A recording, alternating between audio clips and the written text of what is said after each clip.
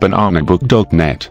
iPhone tutorials. Now, let us see how to locate your iPhone with Find My iPhone. Set up your iCloud account on your iPhone as discussed and set up your iPhone as new using iCloud in Chapter 1. Tap on the Home button. Tap Settings. Tap iCloud. Tap Find My iPhone.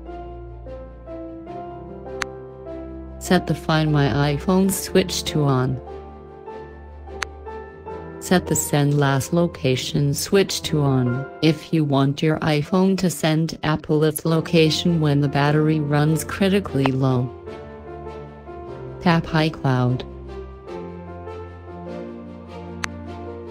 Tap Settings.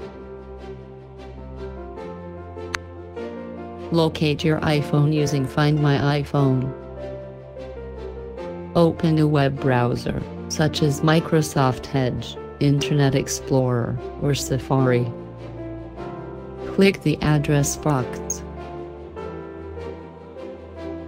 Type www.icloud.com and press in Windows or on the Mac. The Sign into iCloud web page appears. Type your username. Type your password. Click Sign In. Click Find My iPhone. Hola, you are done.